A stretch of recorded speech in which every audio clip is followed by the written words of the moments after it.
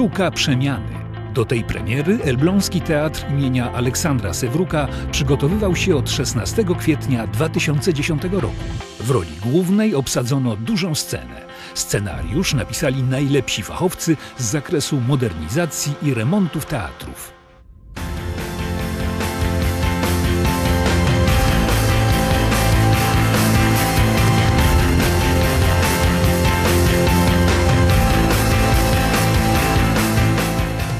Właściwie wszystko zaczęło się od desek.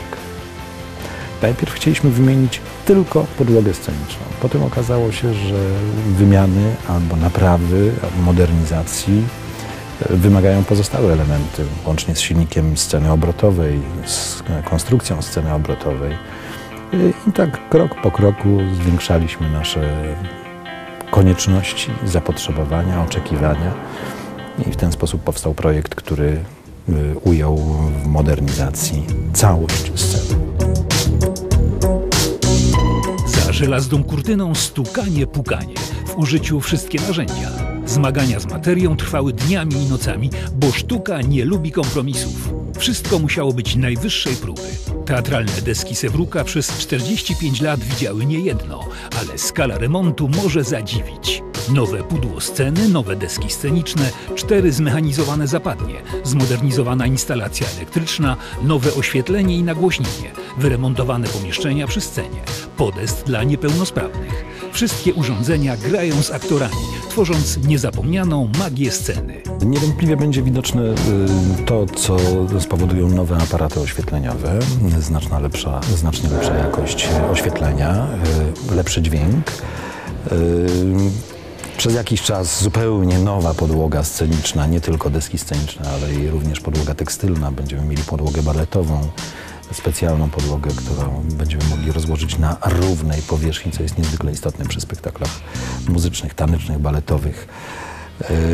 Będziemy mieli nowe okotarowanie sceny.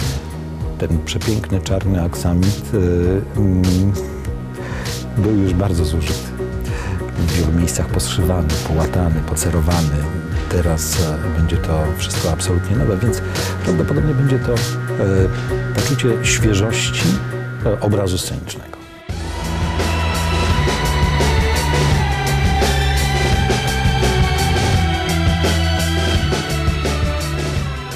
Kurtyna w górę. Pora na przedstawienie.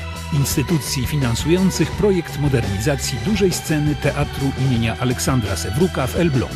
Całkowita wartość projektu to ponad 3,5 miliona. Dofinansowanie z Regionalnego Programu Operacyjnego Warmia i Mazury 2007-2013 wynosi ponad 1 800 tysięcy złotych. Wkład własny dofinansowany z Urzędu Marszałkowskiego Województwa Warmińsko-Mazurskiego to prawie 1 700 tysięcy. Teatr liczy też na widzów. Po blisko 180 premierach pora na kolejną wielką odsłonę. Proszę Państwa, już 12 listopada pierwsza premiera na nowej, zmodernizowanej scenie Teatru imienia Aleksandra Sewruka. Premierą tą będzie e, przebój musicalowy, Skrzypek na dachu. Zapraszam Państwa bardzo serdecznie. Zapraszam też na te spektakle, które będą odbywały się wcześniej. Przed oficjalną inauguracją, oficjalnym otwarciem, które będzie właśnie przy okazji premiery Skrzypka na dachu. Do zobaczenia w teatrze. Sztuka przemiany.